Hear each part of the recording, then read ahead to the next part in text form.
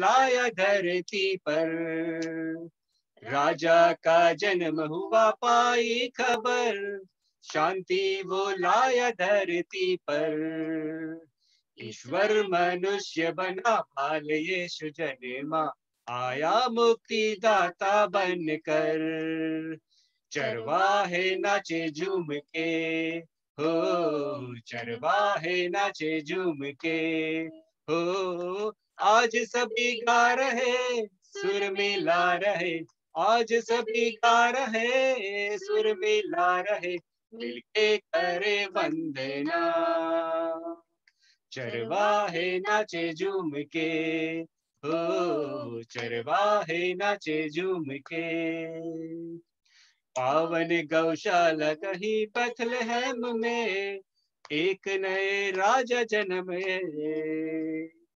पावन गौशाला कहीं बथलहम में एक नए राजा जहाँ जन्मे। ईश्वर मनुष्य बना बाल यीशु जनेमा आया मुक्ति दाता बनकर चरवाहे नाचे झूम के। ओ चरवाहे नाचे झूम के। हो आज सभी गा रहे सुर मिला रहे। आज सभी गा रहे सुर मिला रहे, मिलके करे वंदना। चरवाहे नाचे झूम के हो चरवाहे नाचे झूम के हमको संदेश मिला देवदूत से, मरियम ने जन्म पाल यीशु। हमको संदेश मिला देवदूत से मरियम ने जन्म पाल यीशु। ईश्वर मनुष्य बना बाल यीशु, जनेवा आया मुक्ति दाता बनकर चरवाहे नाचे झूम के ओ चरवाहे नाचे झूम के हो आज सभी गा रहे, सुर मिला रहे। आज सभी गा रहे, सुर मिला रहे मिलके करे वंदना। चरवाहे नाचे झूम के हो, चरवाहे नाचे झूम के मानव को भेंट मिली कैसी अनमोल जिसका दुनिया में नहीं मोल। मानव को भेंट मिली कैसी अनमोल, जिसका दुनिया में नहीं मोल। ईश्वर मनुष्य बना बाल यीशु जनेमा आया मुक्ति दाता बनकर। चरवाहे नाचे झूम के हो चरवाहे नाचे झूम के हो, आज सभी गा रहे, सुर मिला रहे, आज सभी गा रहे, सुर मिला रहे, मिलके करे वंदना। चरवाहे नाचे झूम के हो चरवाहे नाचे झूम के हो चरवाहे नाचे झूम के हो चरवाहे नाचे झूम के यीशु मसीह की जय।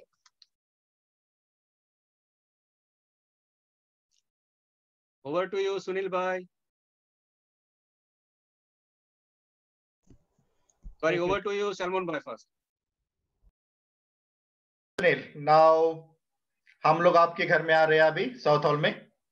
ऐसा ही होगा साउथ हॉल और Harrow Southall Harrow so is over to you now thank you very much खुदा का धन्यवाद करते हैं कि आज का दिन एक जो हम शुरुआत कर रहे हैं in already.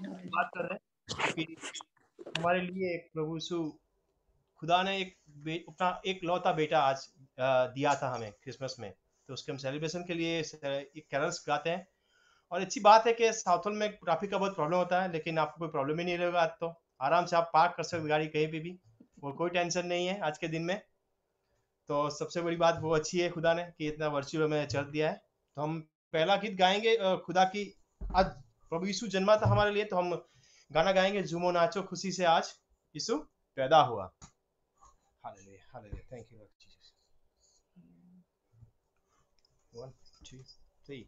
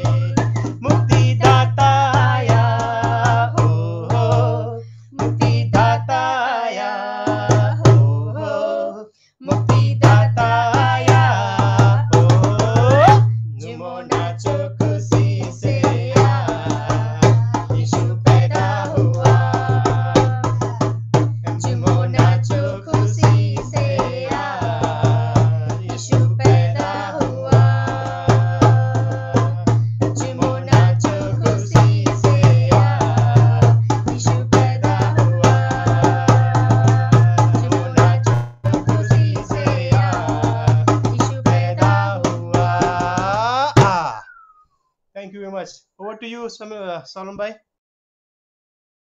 Thank you Sunil जुमो नाचो खुशी से आज यीशु पैदा हुआ हमारा सभी सीएफए का ये फेवरेट सॉन्ग है सभी ने बहुत ही एंजॉय किया सभी के घर में हम लोग इतना ज़ोर से गा रहे थे बहुत ही ज़ोर से गा रहे थे I love this song not only me we all love this song thank you so much for your wonderful and beautiful song जितने भी फैमिलीज़ आज ज्वाइन हुए मैं सभी का प्रभु यीशु के नाम में वेलकम करता हूँ।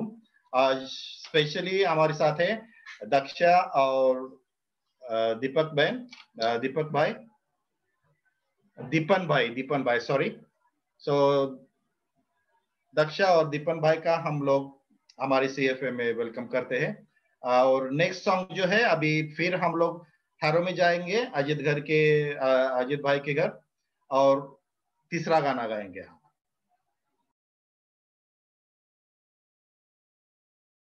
आवी आनंदी नाताल जन्मियो क्रिस्त प्रभु गोपाल काफ़ी लोगों को ये सॉन्ग पता होगा। वन टू थ्री आवी आनंदी नाताल जन्म्यो कृष्ण प्रभु गोपाल आवी आनंदी नाताल जन्म्यो कृष्ण प्रभु गोपाल राजाओ नो राजा अने सृष्टि नो सृजनार राजा अने सृष्टि नो सृजनार। स्वर्गीय गौरव मुकीली दो मानव नो अवतार मानव नो अवतार, मानवनो अवतार। अभी आनंदी नाताल, जन्म्यो कृष्ण प्रभु गोपाल। अभी आनंदी नाताल, जन्म्यो कृष्ण प्रभु Gopal.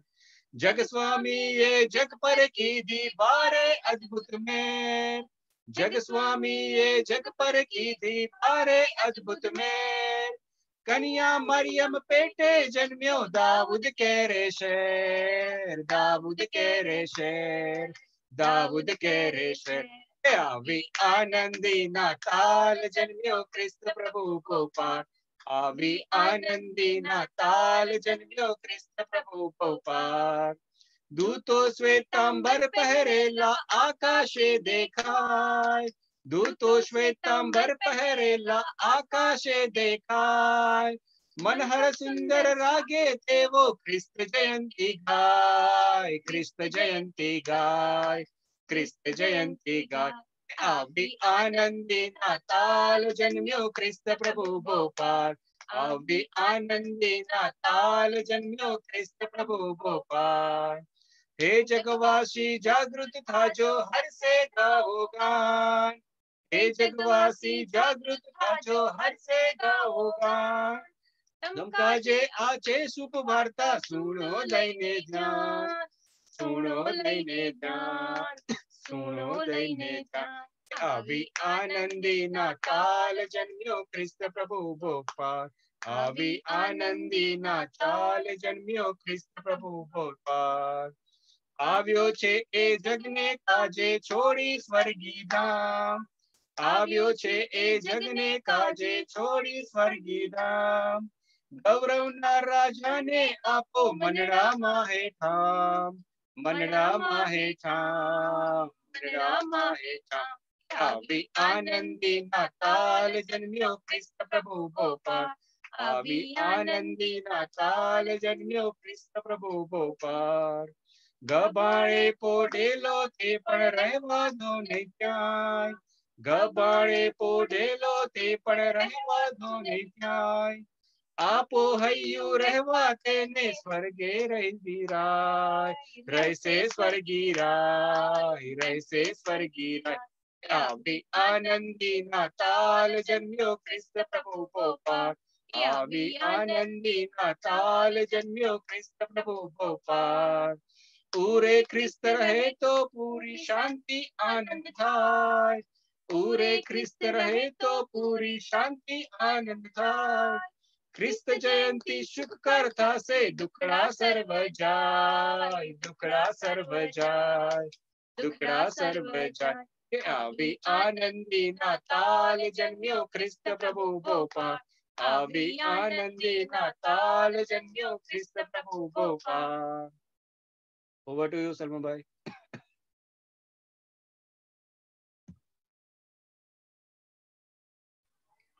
Thank you Ajit and Tripti for your beautiful carol song हम लोग फिर साउथ हॉल में जा रहे हैं सुनील भाई के पास, चौथा गाना गाने के लिए।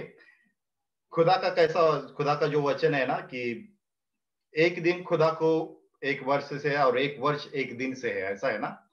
Quite big difference in between एक दिन एक वर्ष से और एक वर्ष एक दिन जैसा खुदा को है। वैसे तो हम सभी लोग खुदा के ही है, खुदा के बंदे हैं सब। तो कैसा है कि एक बार हम लोग आजिद घर के पास हो गए तो within a second we can go to Southall यही मुझे बताना है कि there is no any big day big gap in between within a second आज हम लोग अभी अजित घर के अजित भाई के घर घर में थे। अभी चौथा कैरोल के लिए हम लोग सुनील भाई के पास, सुनील और जेनिस के पास जा रहे हैं चौथा कैरोल सॉन्ग गाने के लिए। So over to you Sunil we are in Southall now thank you very much you are in Southall और अभी हम गुजराती में गाएँगे। आई होप सभी को मालूम पड़ेगा, क्योंकि कैरल सी है। हालेलुया क्योंकि क्रिसमस हमेशा बारहवें महीने में आती है।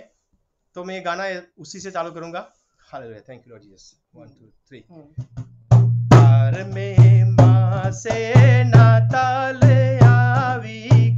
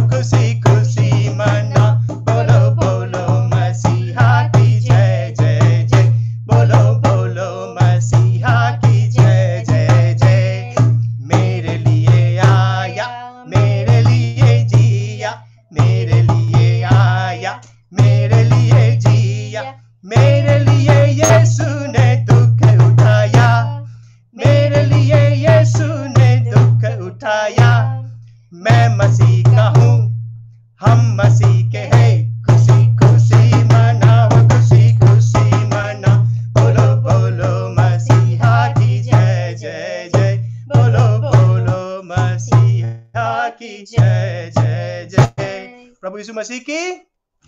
जय। ओवर टू यू सालमन भाई। जय प्रभु यीशु मसीह की जय सुनील भाई। Very good song very powerful song बहुत ही गाने में दम था। जब हम लोग ये कैरोल सिंगिंग करते थे तो ये गाना मैं बजाता था तो I know that how powerful song is this इतने गाने में गाने के लिए कितनी ऊर्जा लगती है कितनी ताकत लगती है मुझे पता है और बजाने के लिए भी भी। तो थैंक यू वेरी मच बहुत लोगों से समझ में आ गया होगा ये गुजराती सॉन्ग था। लेकिन I hope that everyone understood this song thank you so much Sunil भाई और अजित भाई बहुत ही अच्छे कैरोल सॉन्ग्स के लिए। अभी हम आगे बढ़ेंगे और ये टाइम जो है वो अभी ये जो वक्त है अभी मैसेज का है। एंड uh, मैं अभी uh, दीप्ति बहन को विनती करता हूँ कि वो हमें मैसेज में लेके जाए please praise the Lord everyone मैं प्रभु का धन्यवाद करती हूँ कि आज हमारे घर में पहली पहला क्रिसमस कैरल हमारे घर में है और मुझे प्रभु ने चुना है कि मैं क्रिस, क्रि- क्रिसमस कैरल का पहला मैसेज दू। तो आज का जो मैसेज है उस वो मैंने लुका की सुवार्ता उसका उसके फ़र्स्ट चैप्टर से 26 से अड़तीस तक का मैंने लिया है तो मैं जेनिस को बोलूँगी कि वो रीडिंग करे, उसके बाद मैं मैसेज स्टार्ट करती हूँ। थैंक यू तृप्ति मैं नए करार में से लुक की सुवार्ता, उसका पहला अध्याय 26 से लेके थर्टी एट कलम में हिंदी में पढ़ूँगी। छठवें महीने में परमेश्वर की ओर से ग्रिब्रियल सर्वदूत गालिल के नासरत नगर में एक कुंवारी के पास भेजा गया, जिसकी मंगनी यूसुफ नामक दाऊद के घराने के एक पुरुष के साथ हुई थी। उस कुंवारी का नाम मरियम था और स्वर्गदूत ने उसके पास भीतर आकर कहा, आनंद और जय तेरी हो, जिस पर ईश्वर का अनुग्रह हुआ है, प्रभु तेरे साथ है। वह उस वचन से बहुत घबरा गई और सोचने लगी कि यह किस प्रकार का अभिवादन है? स्वर्गदूत ने उससे कहा हे मरियम भयभीत न हो क्योंकि परमेश्वर का अनुग्रह तुझ पर हुआ है। और देख तू गर्भवती होगी और तेरे तेरे एक पुत्र हो, उत्पन्न होगा। तो उसका नाम यीशु रखना। वह महान होगा और परम प्रधान का पुत्र कहलाएगा। और प्रभु परमेश्वर उसके पिता दाऊद का सिंहासन उसको देगा। और वह याकूब के घराने से घराने से पर सदा राज करेगा और उसके राज्य का अंत न होगा। मरियम ने स्वर्गदूत से कहा, यह क्यों कर होगा? मैं तो पुरुष को जानती भी नहीं। स्वर्गदूत ने उसको उत्तर दिया कि, पवित्र आत्मा तुझ पर उतरेगा और परम प्रधान की सामर्थ्य तुझ पर छाया करेगी। इसीलिए वह पवित्र जो उत्पन्न होने वाला है, परमेश्वर का पुत्र कहलाएगा। क्योंकि जो वचन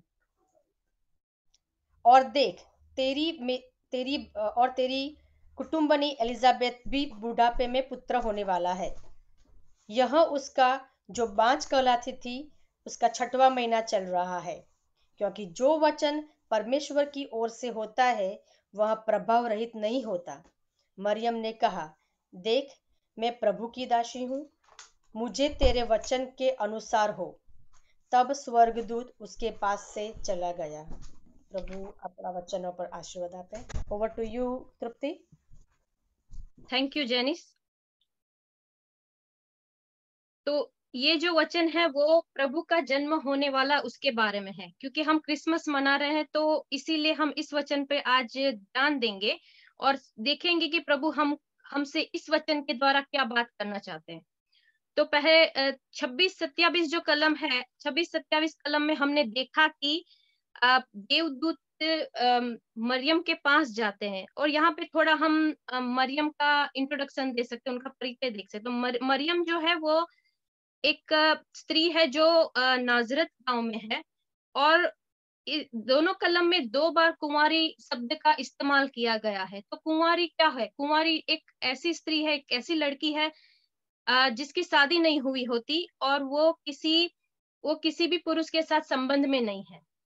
तो ये कितनी अद्भुत बात है कि एक कुंवारी स्त्री से प्रभु का जन्म होने वाला है। और आगे की कलम में हम देखते हैं कि देवदूत जो है वो मरियम से कहते हैं कि स्वर्गदूत उससे बात करते हैं और कहते हैं कि आनंद और दय तेरी हो, जिस पर ईश्वर का अनुग्रह हुआ है। तो मरियम जो है वो बहुत ही ब्लेस्ड है, क्योंकि प्रभु ने उसको एक बहुत ही बहुत ही अद्भुत काम के लिए उसको चुना है। इसलिए इसलिए देवदूत उसे इस तरह से संबोध करते हैं कि तो प्रभु का अनुग्रह तुम्हारे पर हो और यू आर सो ब्लेस्ड तब मरियम थोड़ी देवदूत को देख के घबरा भी जाती है।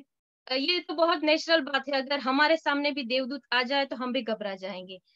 तो वो जब भी कोई साधारण चीज़ असाधारण चीज़ से साथ मिलती है तो ये भय होना बहुत ही नेचुरल बात है। तो मरियम जो है वो घबरा घबरा जाती है और सोचती है कि ये कैसा संबोधन है मेरे लिए।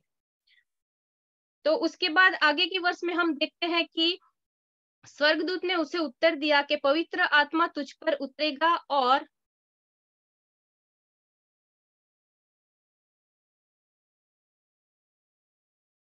और स्वर्गदूत ने उसके पास भीतर जाकर कहा, आनंद और जय तेरी हो, जिस पर ईश्वर का अनुग्रह हुआ है, प्रभु तेरे साथ है। तो उस पर उस वह उस वचन से बहुत घबरा गई और उस सोचने लगी कि यह कैसी कैसी प्रकार का अभिवादन है। स्वर्गदूत ने उससे कहा, मरियम, भयभीत मत न हो, क्योंकि ईश्वर का अनुग्रह तुझ पर हुआ है और देख, तू गर्भवती होगी और तेरे एक, तेरे से एक पुत्र होगा, तू उसका नाम यीशु रखना। तो स्वर्गदूत ये बहुत ही महत्वपूर्ण मैसेज लेके मरियम के पास आया आया था और उसको बताया गया कि तुझसे एक पुत्र जन्म होगा और तू उसका नाम यीशु रखना। और ये जो पुत्र जन्म होगा, वो हमारा उद्धार करता होगा। तो यहाँ पे हम देखते हैं कि यीशु का जन्म एक कुंवारी से होने वाला है। अगर हम इस बात को किसी साधारण इंसान से बात करें तो कोई भी ये बात मानने के लिए तैयार नहीं होगा कि कोई कुंवारी का जो है, वो किसी बच्चे को जन्म दे सकती है। पर जो विश्वासु है, वो ये मानते हैं, क्योंकि बाइबल में लिखा हर एक वचन सत्य है। और हम सब ये मानते हैं कि प्रभु यीशु का जन्म कुमारिका से हुआ था।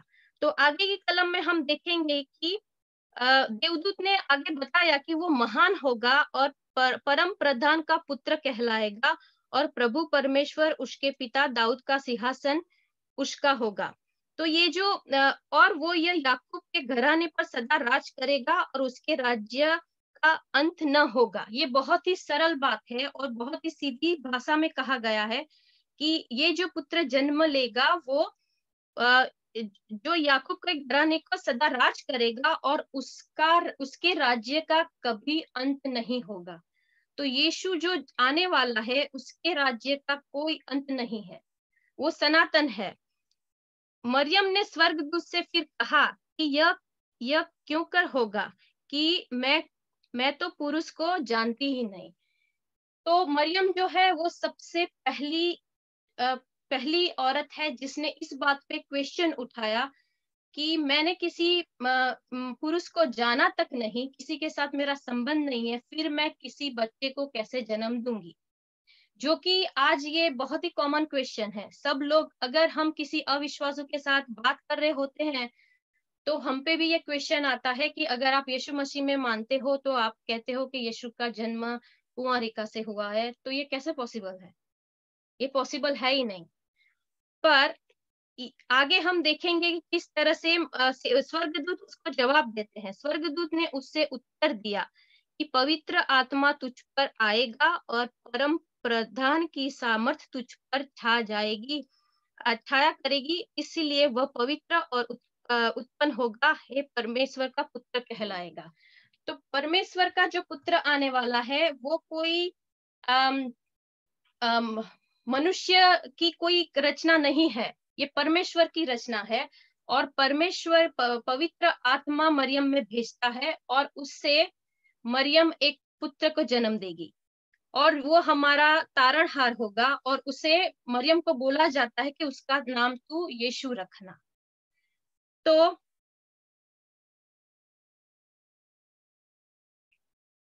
और इसीलिए वो इसीलिए वो प्रभु का एक पुत्र है। प्रभु का पुत्र कहा जाएगा। और आगे देवदूत ने ये भी कहा है कि, और तेरी कुटुंबी इलिसिया, जो बुढ़ापे में बुढ़ापे में पुत्र होने होने वाला है, यह उसका जो बांझ कहलाती थी।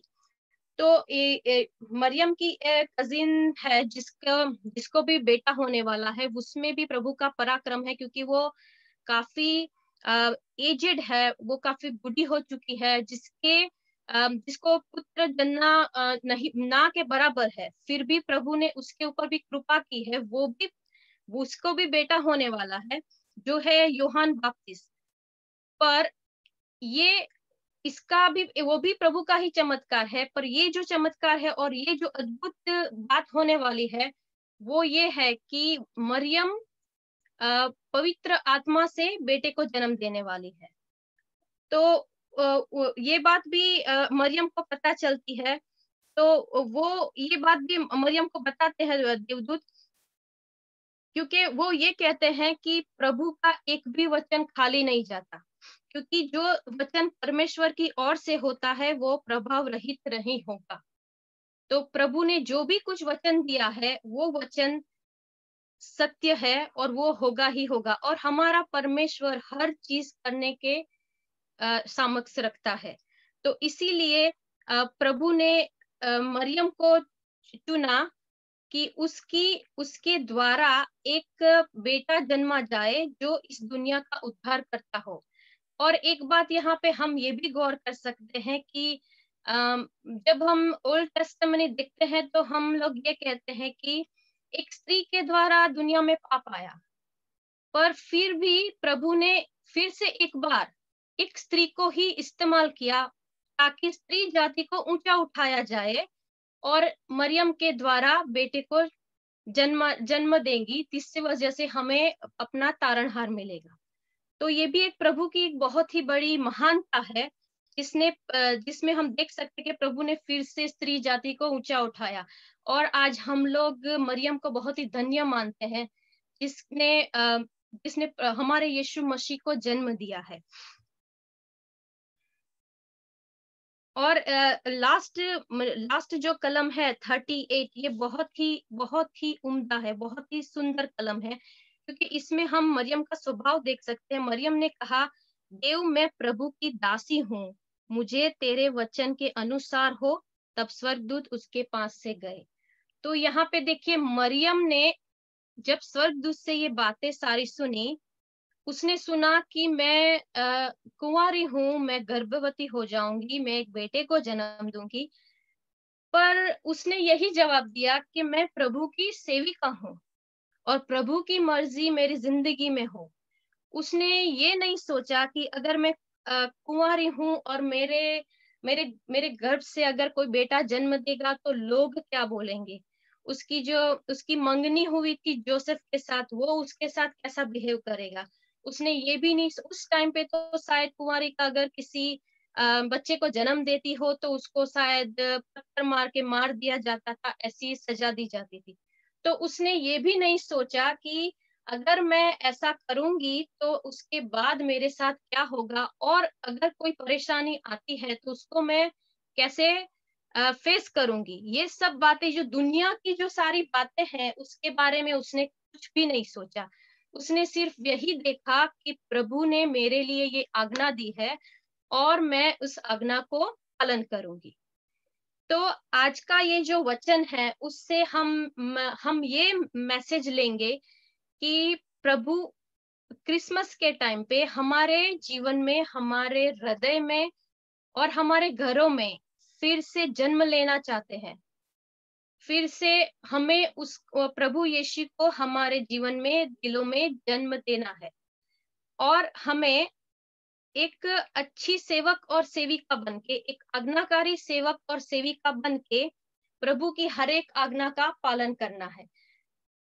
तो जब भी हमें प्रभु से कोई आज्ञा मिले ज़रूरी नहीं है देवदूत हमारे सामने आके कुछ कह, कह कहेंगे। कभी भी प्रभु से हमें कुछ आज्ञा मिले तो हम दुनिया अर्थिकल बातें बाजू पे रख के प्रभु की आज्ञा का पालन करें और इस क्रिसमस फिर से एक बार प्रभु यीशु को हमारे जीवन में, हमारे दिलों में जन्म दे। यही आज का मेरा मैसेज है। आज मैसेज खत्म करने से पहले हम छोटी सी प्रार्थना करेंगे और प्रभु का आशीष लेंगे। आइए हम प्रभु के पास जाते हैं। Hallelujah thank you Jesus thank you Lord प्रभु, हम आपका धन्यवाद करते हैं इस वचनों के लिए, प्रभु जी। हम आपका धन्यवाद करते हैं आपके इकलौते बेटे के लिए जिसने, जिस, आपने जिसको हमारे लिए इस दुनिया में दे दिया, प्रभु जी। हम प्रभु जी हम सब आपके पास आते हैं और चाहते हैं कि हम भी प्रभु जी एक अच्छी सेवक और सेविका बन पाए जिस तरह से मरियम थी प्रभु जी ताकि हम आपके राज्य के लिए यूज़ हो पाए प्रभु जी। और हमें तैयार कीजिए कि हम हमारे जीवन में फिर से एक बार आपको ला सके आपका जन्म पा सके प्रभु हम जो भी कुछ मांगते हैं प्रभु जी हम प्यारे यीशु के नाम में मांगते हैं कबूल कीजिए। हमें thank you thank you Tripti बहुत ही अच्छा मैसेज दे दिया। और thank you Janice as well for Bible reading और जो आज का मैसेज था, वो बहुत ही टचिंग था रियली ये सच है कि यीशु के राज का कभी अंत नहीं होगा। यस इज़ ट्रू और दुनिया का उद्धार करने वाला बस एक ही वो खुदा है। और जैसे मैसेज में कहा गया कि मरियम ने जैसा जैसे दूतों की आज्ञा का पालन किया वैसे ही हमें ही एक क्रिसमस के अवसर पर ये तो अपना ईश्वर का जन्मदिन हम लोग मना रहे।